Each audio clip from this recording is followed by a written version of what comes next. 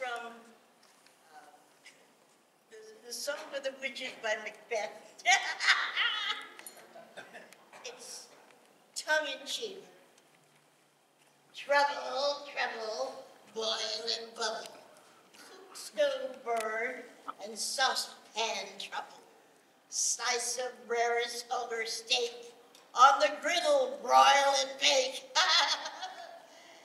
Ear of dog and claw of cat, hair of swine and wing of all bad things we'd like to eat, but of which we shan't be able to partake. Added chance of bardic power, bursting forth like sifting flour. Trouble, trouble, boil and bubble, cook stove burn, and saucepan rumble. Mix it with a morning curse and turn it into foolish verse.